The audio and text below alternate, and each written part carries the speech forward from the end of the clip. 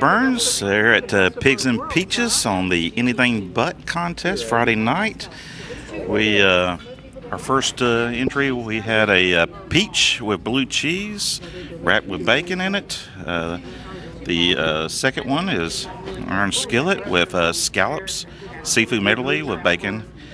We had a actually a cinnamon roll with bacon intertwined in the between the levels with bacon on top and a little ice cream sorbet on the, the uh, top of it. Uh, the fourth entry, we had a chicken with a jalapeno in the middle of it, wrapped in the bacon. Uh, um, my favorite, I tell you, I want to go with the cinnamon roll with the bacon. It just was the one that's not there anymore. It was really, really good. I mean, the texture was off the chain, and there was enough bacon to offset the sweetness on it. I mean, it was it was good. I really enjoyed it. I'm just going to echo everything that he said about the entries. Well, they were all outstanding, all unusual, and I have to say the cinnamon roll was my favorite too. Uh, we're at the Ben Robertson Community Center, and uh, we had some pretty good food here tonight, and I hope y'all do good. Here at Pigs and Peaches, uh, this was the ancillary with bacon tonight. All four was very good dishes. Um, the one with the scallop with the bacon wrap was probably the most excellent entry that was given to us. Very unusual was a cinnamon roll wrapped with bacon all throughout. So all everything was good, and, and kudos to all the cooks. Hi, my is Greg Pruitt. We're at Kennesaw's Pig and Peaches and judging dessert. Uh, had four entries. Uh, the first one was a peach parfait, more or less, and actually it was my favorite. Um, the second one with the peaches, I thought was a little over. I'm not sure what it was over, but it was over. Uh, the other two were great entries, but just number one was my favorite. Hi, I'm Georgia Lenahan at Pigs and Peaches, and we had four entries. Number one was just your normal run of the mill parfait. Tasted it, it tastes just like a bunch of whipped cream with some peaches in there with some crumbly. It was very amateurish. Number two was exquisite. It was a delight. The uh, it was made with different kinds of of, um, of cream, and in the top, the peach had a, a, fresh flavor of peaches with a little hint of almond in it, and it, it was it was very well made. The number three was a pile of um, cake dough with some uh, peach thrown in there. It was what we called on the day a dumb cake. Um, and then number four was just a bunch of sugar, crunchy sugar, with uh, a little bit of uh, nectarine on the side. So it was as if I was just eating um, brown sugar with a little something in the middle. So I thought these two, the three and four, were very poor entries.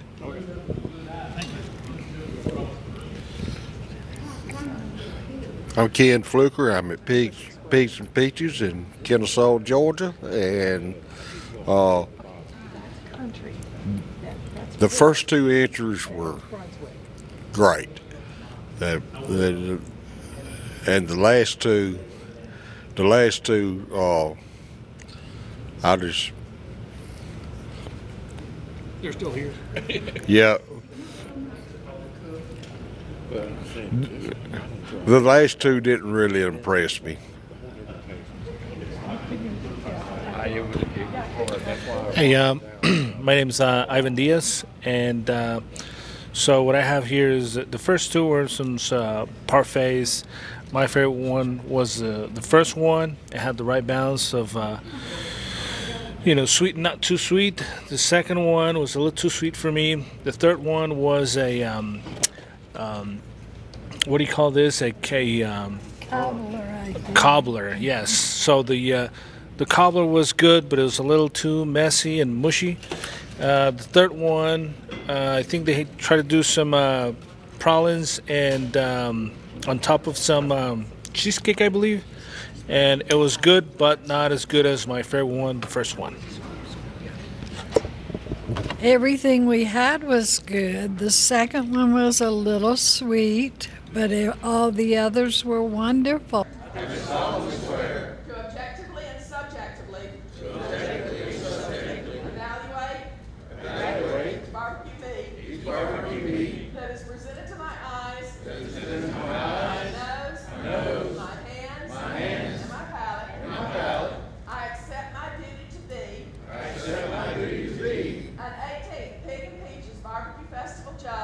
An 18th Pig and Peaches Barbecue Festival judge. So that truth. So that truth. Justice. Justice. Excellence in barbecue. Excellence in barbecue. And the American way of life. And the American way of life. May be strengthened and preserved forever.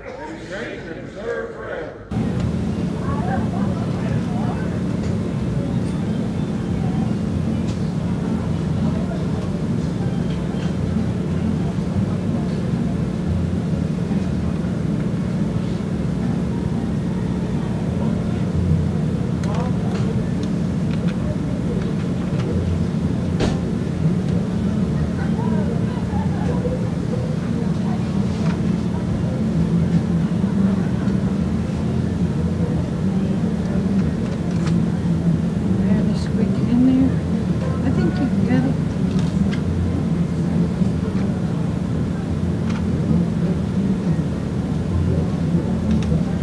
There was six uh, spot on one of them.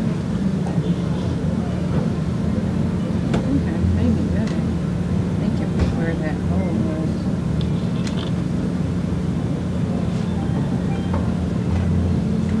Got just a little splash on the outside. Yeah, I there. got, I gotta clean it up. Oh, on the outside over here. All right, I'll get it. Oh, Just didn't want I you got guys it. to miss that. Y'all ain't supposed to judge outside them, You but can. that's up to you. Woulda, shoulda. Yeah. Put a drip in there. Yeah. Let me. Okay, my favorites were uh, probably number four was number first. It was juicy, had a good pra- uh, flavor profile to it, and it had a nice back heat to it. Uh, number two would have been the second one. Number two, uh, same thing. It was juicy, uh, had a good flavor to it, a little bit of heat. Um, the other three were just okay. Uh, for the fifth one right here was juicy, but the flavor on it was kind of lacking. It had no smoke flavor to it, and the first one was a little dry, and the flavor on it was just a little bit bitter. I really liked the tenderness in number five. Uh, number four was the juiciest piece of chicken I've ever touched. It was just dripping out butter and goodness when I bit into it.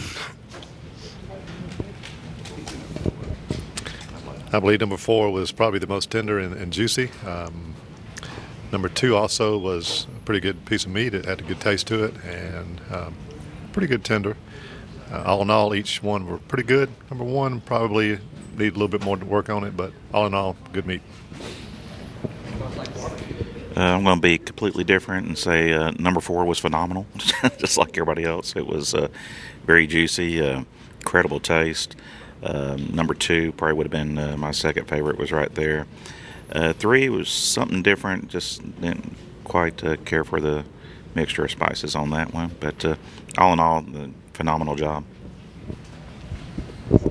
Yeah, I guess, like I said, pick number four is the best.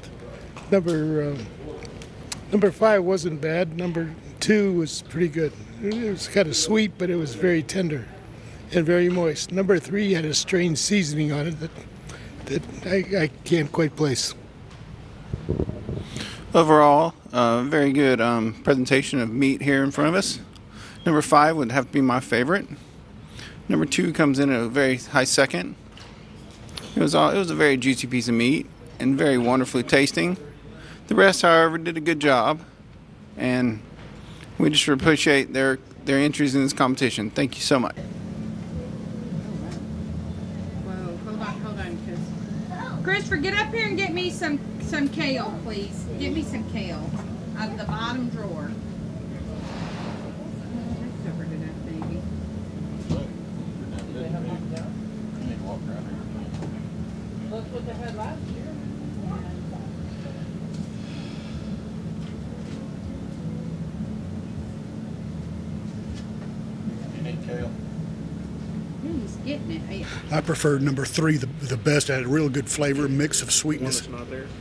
The one that's not there that I ate all of had a good mix of sweetness and also a little kick at the end of it. Uh, the one that I did not like, the, the, the one I liked the least was number one. Uh, it was a bit tough and a little overcooked on the bottom. Okay. Yeah, very similar comments. All in all, a good showing. Um, similar comments for number one. Uh, there was no sauce on the bottom; it was burned, and the membrane was still attached, making it uh, rather unpleasant. Um, and number three, I think, had the best flavor, but it was overcooked, and so when you took a bite, it uh, completely cleaned the bone. But all, all in all, a good showing for ribs today. Well, I'm the odd man out because I liked number one. I just tasted it from the top, and it had the just right flavor and the right texture for me. I didn't eat all the way through the bottom to see that the uh, membrane was, was still on there. The number two was um, kind of dry, but it was it was it was good. Number three was a good taste. I thought a little bit too sweet and um, overdone. And then the other two, I, you know, they were too dry and the flavor was really hot. Like many others, I uh, chose number three as my overall favorite. To me, it had a good balance of flavors. Uh, the sweet played off the heat, uh, not overpowering, uh, slightly overcooked, I agree. Uh, the others, um, it would have been nice if number five was at least warm, because that impacts flavor. I agree that number one was um, the toughest, and they had left the membrane on, so it was hard to bite. Number three was excellent flavor, but overcooked, and the other three were kind of average.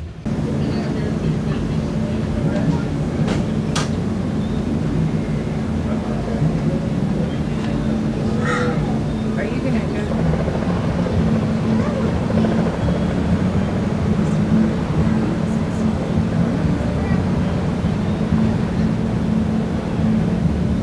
I love these shoes. They're so comfortable. The one thing I know they.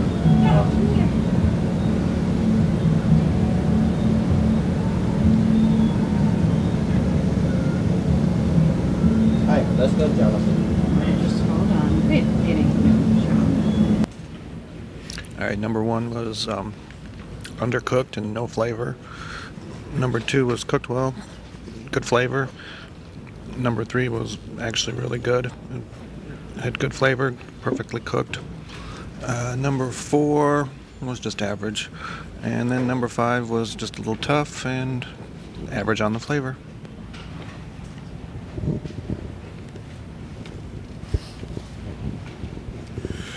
The first and fourth, fifth entry were very bland.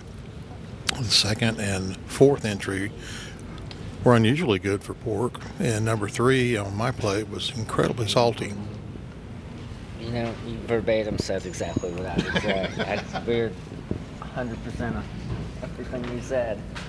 N- number one didn't have a lot of flavoring. It was just kind of pork flavor, and that's about it, which isn't necessarily bad, but I would have liked to see a little bit of spice, a little bit of heat on that. Uh, number two had nice sauce on it. Number three was overdone, overcooked. Hard to get much flavor or moisture out of it at all. Um, the four was all right. Had a good layer of bark. And uh, five was uh, not much to say about it. It's all right.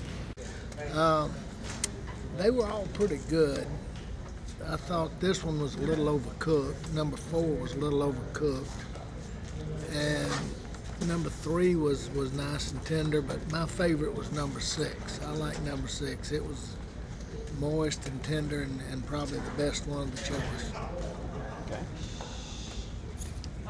I'd have to agree. Um, for the most part, particularly with number six, that was also uh, my favorite as well. Uh, had a good flavor, uh, moist and good texture is right on. Number four, yes, was uh, a little bit overcooked. Medallion was uh, somewhat mushy. Um, number two um, was dry. It looked dry to me, and it tasted uh, rather dry. A little bit of dryness in number one and a little bit in number three um, as well. Number four was an interesting submission. We don't usually see someone essentially put all of their uh, hopes on one small item, which is, but that's not, you know, that's fine uh, as a submission. That wasn't a factor, and actually it was uh, rather tasty as well.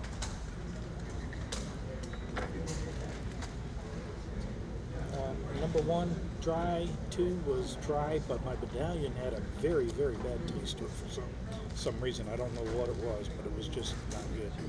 Uh, number three was kind of dry, had a little bit of flavor though. I kind of liked the flavor on it. Number four was very mushy, uh, good flavor. Number five, uh, the the medallion, kind of just a little tough, but I like the flavor on it also. Number six, good flavor, but uh, when I got to the pork portion portion of it, it was just all all fat. they didn't pull the fat off of it; it was pure fat. So that's about it. We're backyard. This is pretty good pork.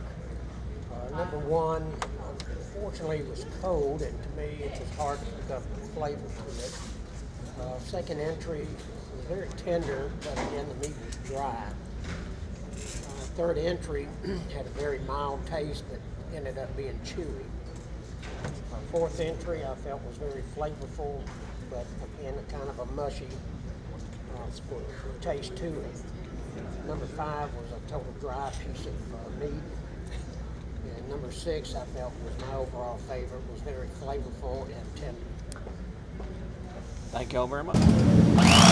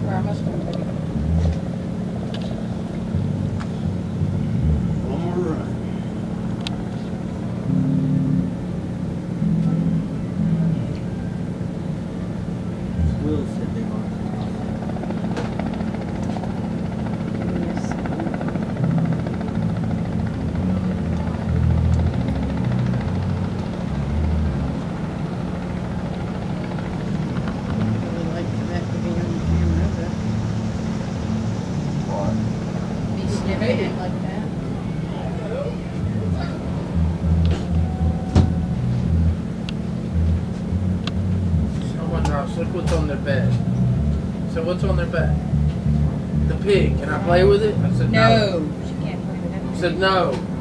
That's Leave a it good alone. answer. You don't want to touch anything that is hers. That's mine. And get it dirty because I'll go pee. Maybe sure. Elliot might be like. Then you'd be stuck up thinking there I'm a in pain in the ass. How many is that? No, she's Seven. not playing with anything. Yeah, he's my decorative pig my husband bought me, not a toy.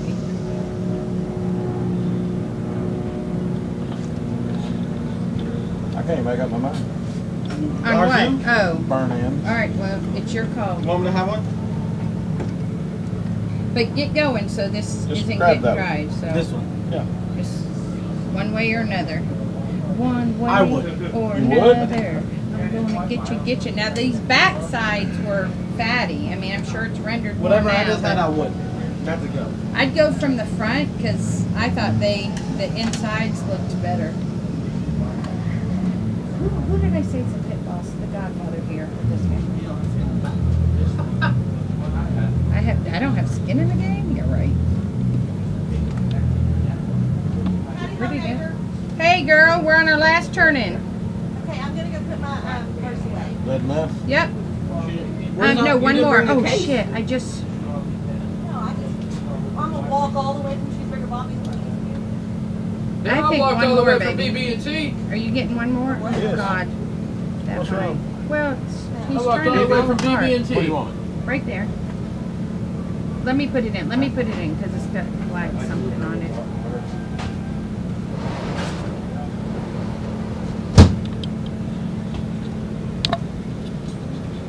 Go ahead, Christina. Can you not? Okay, I'm gonna leave that there. She got a new purse. Overall today, I think the brisket category was a little average. Uh, my favorite uh, was number four, had a good smoky flavor to it. Number five was my least favorite. It was a little bit on the dry side. Um, overall, everybody had a beautiful presentation. Um, I centered also around number four. It um, definitely had was the most tender and tasty of all of them. Um, I guess I'd f- find my least favorite to be um, number three, which was was kind of a. Uh, I think it might have been the piece I got, but it was it was a little bit on the dry side for me. I think the presentation on all of them was really good. Uh, my favorite was um, number four, uh, and my least favorite was number five. I thought it was a little tough. Um, I also thought the presentation was good. I liked um, number two and number four, but I thought number four was just a little bit better. It had a little bit better uh, smoke flavor, and number five was my least favorite. It was just a little too tough. My two favorites were number four and number two. Number two, they should have left the burn end out because that pulled the score down. The actual number two uh, main sample was real good. Number five was very, very dry.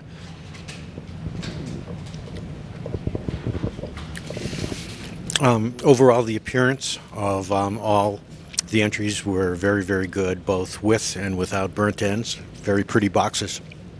Uh, my favorite was number four.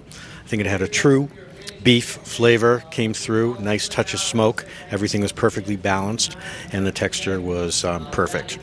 Uh, my least favorite was the last one, number five.